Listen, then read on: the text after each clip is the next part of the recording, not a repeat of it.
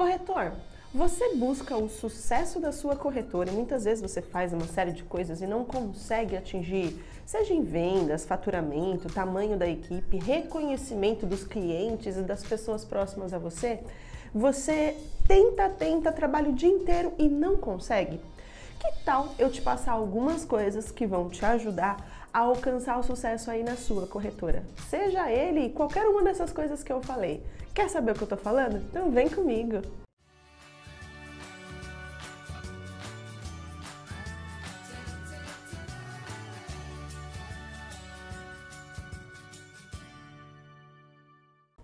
Eu sou Cláudia Simplício e agora a gente vai falar sobre como alcançar o sucesso na sua corretora. Mas antes, não esquece de se inscrever para o nosso canal do YouTube. Se você não tiver por ele, dá um pulinho lá. Tem mais de 270 vídeos que com certeza vão te ajudar. E clica também nesse sininho. Dessa forma o YouTube sempre te avisa quando a gente postar vídeo novo.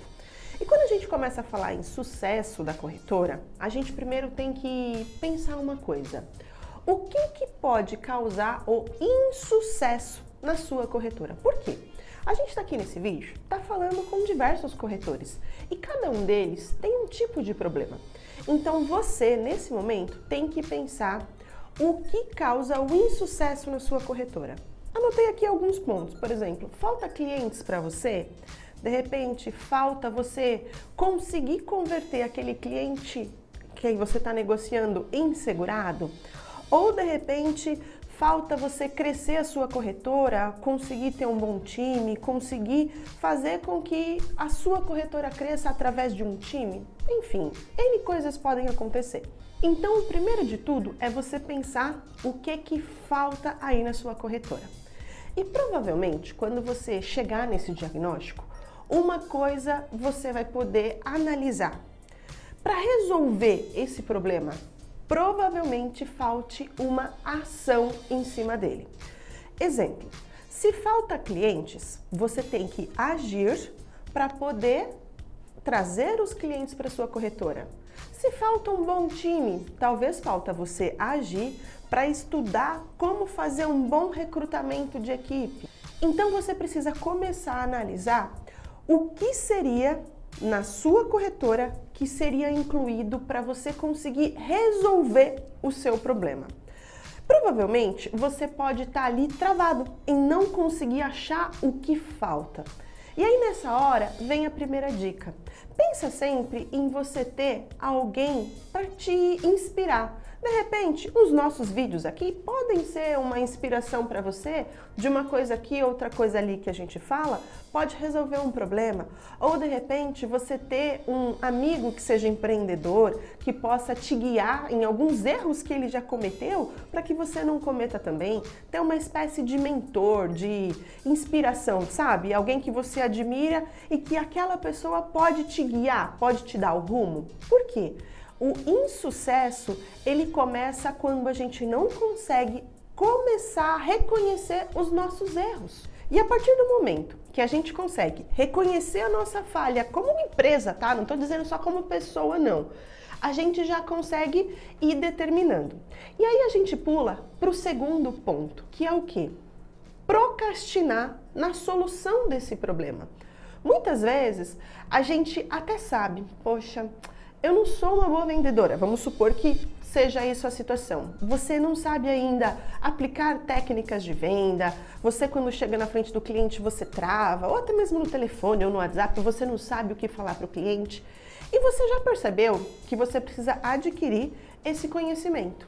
Só que você fica procrastinando para conseguir encontrar o caminho. Você fala, ah, amanhã eu vou procurar vídeo no YouTube, amanhã eu vou procurar um mentor, ah, eu não vou compartilhar com ninguém a minha dificuldade porque eu tenho vergonha. E de repente você não compartilhar com alguém, as pessoas ao seu redor podem não te ajudar. Claro, você tem que tomar cuidado com quem você compartilha, porque às vezes a pessoa pode te puxar para baixo ao invés de te empurrar para cima. Você tem que encontrar pessoas que realmente vão te alavancar no negócio. E aí você tem que começar a lutar contra a procrastinação. E muitas vezes a procrastinação ela é um sintoma de outras coisas, como por exemplo, ansiedade, medo, necessidade de aprovação. Aí vai dar, vou dar mais uma dica para você. A questão da procrastinação, ela pode ser reconhecida até como uma questão médica. Por quê? Se você olhar, por exemplo, na medicina, na homeopatia, quando você vai numa consulta homeopata, o médico vai querer saber tudo de você, inclusive se você é uma pessoa que procrastina. E ele pode te ajudar a tratar esses sintomas de diversas formas. Ele vai tratar a sua ansiedade, o seu medo, a sua necessidade de aprovação, como consequência, a procrastinação vai ter uma melhora. Então, Fica aí um, um, olhar sobre essa questão.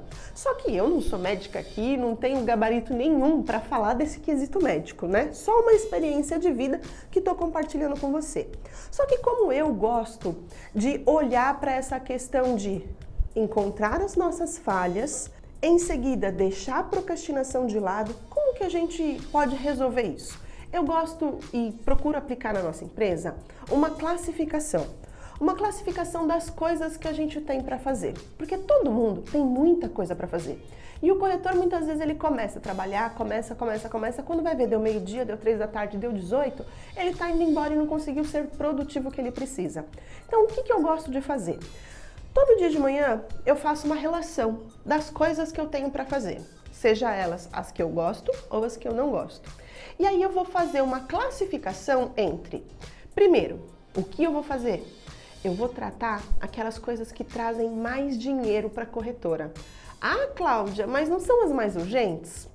Depende da situação. Você sim vai tratar as questões urgentes, mas uma coisa, ela só se torna urgente quando ela foi atrasada, quando você não tratou ela dentro do tempo correto. Então, claro, num primeiro momento, é você vai ter que apagar o fogo. Só que você não pode se permitir passar a vida inteira apagando fogo. Então você tem que ter uma prioridade no seu dia.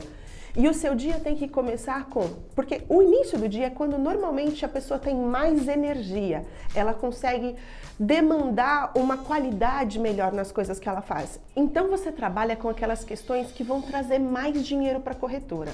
Porque com dinheiro na corretora, você consegue contratar, por exemplo, vamos supor que o seu problema seja contratar funcionário. Você pode contratar uma gerente de RH e ela vai fazer as contratações. De repente, o seu problema é o marketing. Com dinheiro na corretora, você pode contratar uma pessoa de marketing ou uma agência de marketing para fazer para você. Então, prime o primeiro ponto para o sucesso da corretora é você trazer dinheiro para dentro de casa. E muitas vezes eu vejo o corretor fazendo qualquer outra coisa, fazendo uma, um, um, processo de sinistro que vai, sabe, precisar daqui uma semana, mas ele já está tratando ali. Não, primeiro, você vai tratar do sinistro também, mas primeiro você vai tratar do que põe dinheiro em casa. Segunda coisa, você vai tratar o que te faz economizar. Exemplo, algum cliente fez uma reclamação, seja de um sinistro ou do que for. Você vai tratar aquele ponto porque se você não tratar, aquilo pode gerar um processo, aquilo pode gerar um desgaste, pode gerar uma indenização que você tenha que pagar. Então isso não é muito legal, então te traz prejuízo. Então, na minha classificação, é o segundo ponto. E por último, não menos importante, mas é o que eu trato por último, vem todo o resto. Então, eu classifico dessas três formas justamente para que eu possa pôr dinheiro dentro de casa e com o dinheiro você faz todo o resto. Você consegue ter bons profissionais, você consegue desembolsar dinheiro para o que você precisar dentro do seu próprio negócio. E quando eu falo resto, existem N coisas que podem ser o resto, tá? Por exemplo, passar um pano no escritório. O escritório tem que estar tá limpo? Sim, tem que estar tá limpo, mínimo de higiene.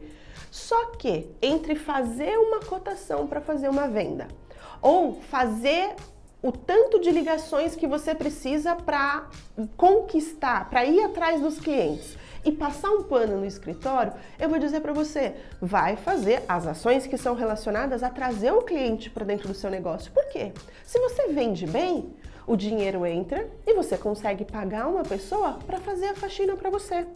Percebe que vai equalizando as coisas? Ou de repente ir fazer aquele social na seguradora.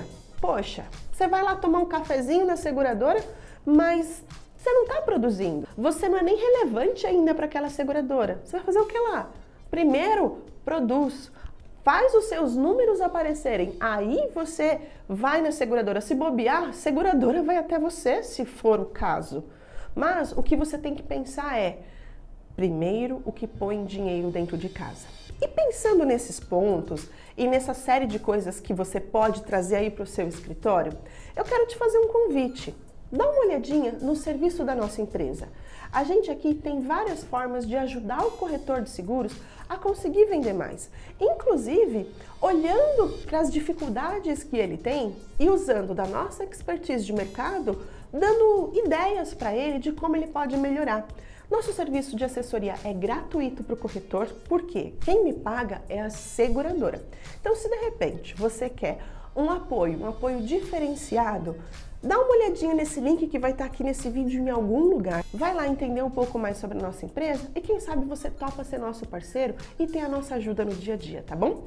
Espero que essas dicas tenham ajudado você a ter algumas viradinhas de chave para o sucesso da sua corretora e eu vejo você num próximo vídeo. Tchau, tchau!